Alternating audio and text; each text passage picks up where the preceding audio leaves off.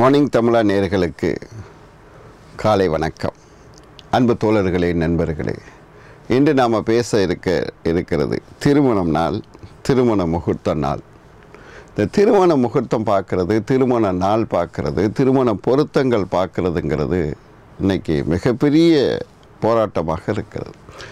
ஏன் என்று கேட்டால் எந்த சோதிடர்கிட்டையாவது கொண்டு போயிட்டு இரண்டு ஜாதகத்தை காட்டி இரண்டு பேருக்கும் நல்ல பொருத்தம் இருக்கிறது என்று சொல்லி கேட்டால் ஒருத்தர் ஆம் இது நல்ல பொருத்தம் இருக்கிறது எட்டு பொருத்தம் இருக்கிறது ஒம்பது பொருத்தம் இருக்கிறது என்று சொல்லுவார். அதே ஜாத அதே ஜாதகத்தை கொண்டு போய் இன்னொரு சோதிடர்கிட்ட கேட்டால் இல்லையே பொருத்தம் இல்லையே ராகு கேது வந்து சரியில்லாத இடத்துல இருக்கே இவங்களுக்கு குழந்தை பாக்கியம் தடையாக இருக்கே அப்படின்னு இன்னொருத்தர் சொல்லுவார். அதே மாதிரி இன்னொரு சோதிடர்கிட்ட கொண்டு போய் கேட்டிங்கன்னா இல்லை இல்லை இல்லை யார் சொன்னது? அப்படி தான் இருக்குது சரி இல்லை தான் ஆனால் குரு வந்து அதை பார்த்துட்டாரு. அதனால் அது நிவர்த்தி ஆயிடுச்சுன்னு அவர் சொல்லுவார். இப்படி பார்த்தீங்கன்னா எந்த ஒரு கண்டுபிடிப்பு எந்த ஒரு ரிசர்ச் எந்த ஒரு ஆய்வும் ஆராய்ச்சியும் ஒருத்தர் சொன்னால் ஒருத்தர் எல்லோரும் ஒரே மாதிரி சொல்லக்கூடியதாக இருக்கட்டும். அதானே விஞ்ஞானம் அதானே சயின்ஸு இப்போ சாதாரணமாக நீங்கள் பார்த்துக்கிட்டிங்கன்னா மூணு ப்ளஸ் மூணு என்று சொன்னால் ஆறு தானே. அது நாள் கூட்டினாலும் நீங்கள் கூட்டினாலும் ஆறாக தானே இருக்கணும். ஆனால் இந்த சோதிடம் மட்டும் என்ன பிரச்சனைன்னு கேட்டிங்கன்னா ஒவ்வொருத்தரும் தான் யானையை பார்த்த குருடன் மாதிரி ஒவ்வொருத்தரும் தன்னுடைய அறிவுக்கு ஆற்றலுக்கு ஆராய்ச்சிக்கு தன்னுடைய கண்டுபிடிப்புக்கு தன்னுடைய எக்ஸ்பீரியன்ஸுக்கு ஏற்ற மாதிரி ஒவ்வொருத்தரும் தன்னுடைய ஒரு மனிதனுடைய ஜாதகத்தை பல்வேறு விதமான கருத்துக்களை பல்வேறு ஆராய்ச்சிக்கூடாக ஒவ்வொருத்தரும் பாசிட்டிவும் நெகட்டிவாகவும் சொல்லிக்கொண்டே இருக்கிறார்கள். எனக்கு அதை பற்றியெல்லாம் பிரச்சனை இல்லை. ஆனால் அதெல்லாம் தாண்டி இன்னைக்கு பொருத்தம் என்று சொல்லப்படுகிறவர்கள் என்று பார்த்தால் இந்த குழந்தைக்கு எல்லா பொருத்தப்பாடுகளும் இருக்கிறது. நல்ல பொருத்தம் இருக்கிறது. இவர்களுடைய குடும்ப வாழ்க்கை சரியாக இருக்கும். கணவன் மனைவி உறவு இந்த உலகத்தில் அந்யோன்யமான தாம்பத்திய உறவு கிடைக்கும். காரணம் என்று சொன்னால் அந்த பொருத்தங்கள் என்று சொல்லப்படுகிற எல்லா பொருத்தப்பாடுகளும் சரியாக இருக்கிறது என்று சொல்லி திருமணம் செய்து வைத்ததுக்கு பின்னாடி அந்த தம்பதியர்கள் இந்த சோதிடம் சொன்னது மாதிரி எல்லா பாக்கியங்களோடையும் அவர்கள் வாழ்ந்தார்களா என்று ஆராய்ந்து பார்த்தால் நிச்சயமாக நூற்றில் ஐம்பது சதவீதம் பெண்மணிகள் இந்த நாட்டில் ஆண்கள் வாழவே இல்லை என்பதுதான் எனது ஆய்வாக இருக்கிறது ஆராய்ச்சியாக இருக்கிறது வருத்தமாக இருக்கிறது. என்ன காரணம்? பொருத்தம் எதுக்கு பார்க்குறோம்? வாழ்வதற்குத்தானே ஒரு நூறு பெண்மணிகளை நான் மாணவிகளை ஆராய்ந்து பார்க்கிறேன். ஸ்கூலில் காலேஜில் படித்து கொண்டிருக்கின்ற நூறு மாணவிகளை நம்ம ஆராய்ந்தால் ஒரு பதினைஞ்சு சதவீதம் பேர் அல்லது இருபது சதவீதம் பேர் இந்த உலகத்தில் வழி தவறி நடப்பதற்கான வழிகள் இருக்கிறது நடந்து கொண்டிருக்கிறார்கள். அதற்கு அவர்களுடைய பெயர் காரணமாக இருக்கிறதுங்கிறது எனது கூற்று. அதே மாதிரி நூற்று கணக்கான ஆயிரக்கணக்கான மாணவர்களை நீங்கள் கல்லூரி மாணவர்களை ஆராய்ந்து பார்த்தால் நீங்கள் அலசி பார்த்தால் உற்று நோக்கினால் அவர்களில் ஒரு பதினஞ்சு சதவீதம் பேர் அவர்கள் வழி தடுமாறி போடுவதற்கும் அவர்கள் இந்த உலகத்தில் தீ தகாத செயல்களில் ஈடுபட்டு கொண்டிருக்கிறார்கள். என்று சொன்னால் எண்பது சதவீதம் பேர் அங்கே நல்ல இளைஞர்களாகத்தான் இருக்கிறார். அப்போ எந்த இளைஞர்களை எடுத்துக்கொண்டால் எண்பது சதவீதம் பேர் நல்லவர்களாக இருக்கிறார்கள்.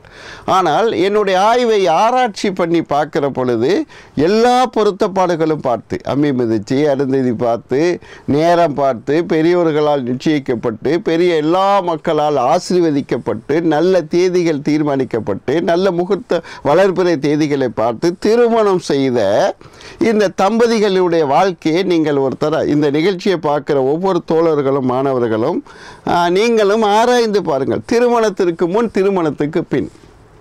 அப்போ வாழ்க்கையில் இந்த உலகத்தில் கடுமையான கணவன் மனைவி உறவில் விரிசல் ஏற்பட்டவர்கள் ஒருத்தர் ஒருத்தர்களுக்கு இந்த உலகத்தில் துரோகம் செய்தவர்கள் அல்லது கணவனுக்கு தெரியாமல் மனைவி தேவையில்லாத இன்னொரு பிரச்சனைகளில் ஈடுபட்டு கொண்டிருக்கிறவர்கள் அல்லது தன்னுடைய குழந்தைகளை கொள்ளுகிறவர்கள் பாலியல் இச்சைக்காக. இன்றைக்கி வந்து திருமணத்திற்கு பின்னாடி கணவன் தன்னுடைய இப்போ பிறர்மனை நோக்குகிற கால க- நிகழ்ச்சிகளை பார்க்கிறது. இப்படி பல விஷயங்களை ஃபேமிலி கோர்ட்டுக்கு போனவங்க பிரிஞ்சு போனவங்க சண்டை போட்டவங்க சூசைட் பண்ணவங்க மாமியார் மருமகள் பிரச்சனையால் இந்த மாண்டவர்கள் இந்த உலகத்தினுடைய பிரச்சனையானவங்க பொருளாதாரத்தில் சிக்கல் உண்டவங்க அல்லது கணவன் மனைவியினுடைய இல்லீகல் செக்ஸுங்கிற பிரச்சனைக்குள்ள மாட்டி சிதறுண்டு போனவர்களுடைய வாழ்க்கை ஆய்ந்து பார்த்தால் ஆராய்ந்து பார்த்தால் திருமணத்திற்கு பின்னாடி ஐம்பது சதவீதம் பேர் இந்த உலகத்தில் இருக்கிற மனிதர்கள் ஆண் ஆண்களாக இருக்கட்டும் பெண்களாக இருக்கட்டும் கணவன் மனைவி மனைவிகளுடைய வாழ்க்கை வாழ்க்கையை பார்த்தீர்களால் ஐம்பது சதவீதம் பேர் இந்த உலகத்தில் சீரழிந்தவர்களாக இருக்கிறார்கள். இந்த இந்த நிகழ்ச்சியை பார்க்குற எல்லாரும் நீங்களும் ஆய்ந்து பாருங்கள் ஆராய்ந்து பாருங்கள் அப்போ என்ன என்று கேட்டால் மாணவர்களாக இருக்கிற பொழுது எண்பது சதவீதம் பேர் நல்லவர்களாக இருந்தார்கள் ஒழுக்கமுள்ளவர்களாக இருந்தார்கள். மாணவியாக இருக்கிற பொழுது எண்பது எண்பத்தஞ்சு சதவீதம் பேர் ஒழுக்கமுள்ள பெண்மணிகளாக நல்லவர்களாக பண்புள்ளவர்களாக இருந்த பெண்மணிகள்.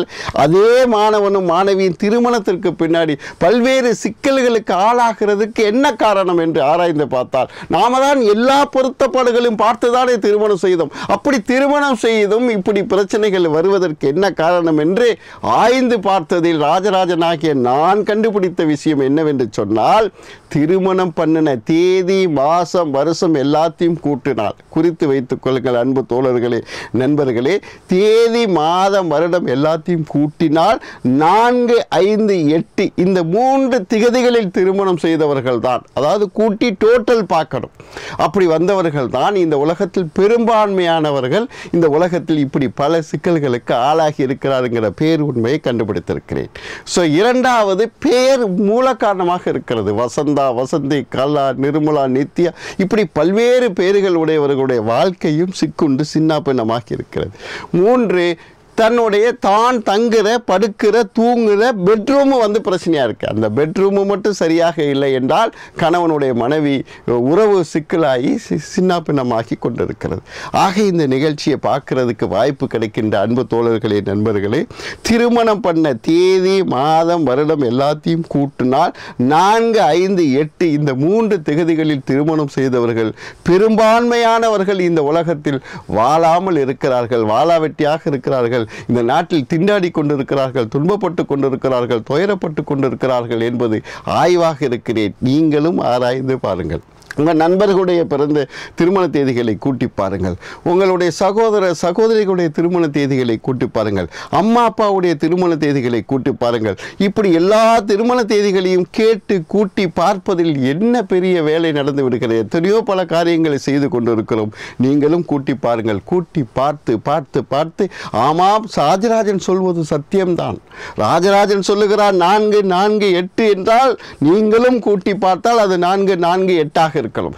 அப்படி திருமணம் தேதி வந்து அந்த தேதிகள் எல்லாம் பாதிக்கப்பட்டிருக்கிறார்கள் என்கிற பேர் உண்மையை நீங்களும் அறிந்து கொண்டால் என்ன செய்வது என்று சொன்னால் இனிமேலும் தான் பெற்ற பிள்ளைகளுக்கு குழந்தைகளுக்கு மழலைகளுக்கு தன்னுடைய உற்றார் உறவினர்களுக்கு தன்னுடைய சகோதரர்களுக்கு தன்னுடைய மகளுக்கு பேத்திகளுக்கு திருமணம் செய்கிற பொழுது வளர்ப்புறையை பாருங்கள் முகூர்த்தத்தை பாருங்கள். நான் பார்க்க வேண்டாம் என்று சொல்லவில்லை.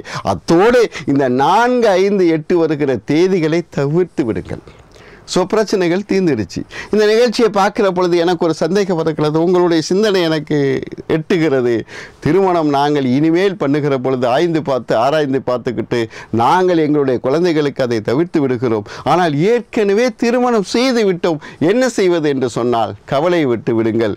அந்த மாதிரி இருக்கிற அன்பு தோழர்களுக்கு நண்பர்களுக்கு நான் பல ப பரிகாரம் அதாவது தாலி பரிகாரம் என்று மருமாங்கலியின் திருமணம் என்று சொல்லி பல ஆயிரக்கணக்கான பேர்களுக்கு நடத்தியிருக்கிறேன். அதை இன்னொரு முறை நாமல் பேசுவோம். நாளையும் நல்ல செய்தியோடு சந்திக்கிறேன். நன்றி வணக்கம்.